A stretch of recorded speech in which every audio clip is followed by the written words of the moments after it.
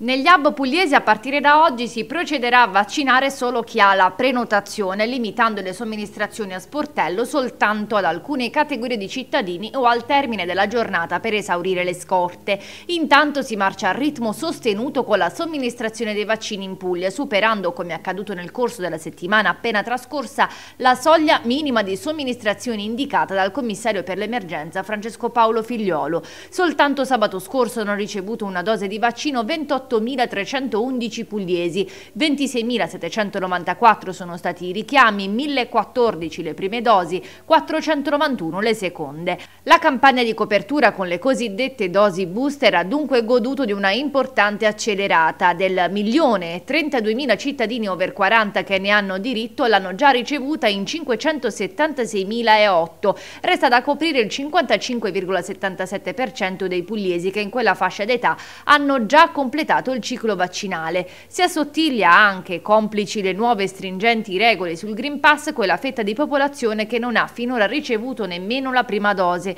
Si tratta di 468.220 persone che nelle prossime settimane potrebbero raggiungere i numerosi hub vaccinali allestiti nelle diverse province per ottenere il Green Pass e l'opportunità dunque di sfruttare mezzi pubblici e andare al lavoro senza ricorrere ai tamponi. Nell'ASLA di Bari che ha somministrato solo fra sabato e domenica 8.000 2.744 dosi di vaccino anti-Covid, è stato attivato un nuovo hub vaccinale all'interno del Museo Civico Archeologico, inaugurato con un open day riservato al personale della scuola.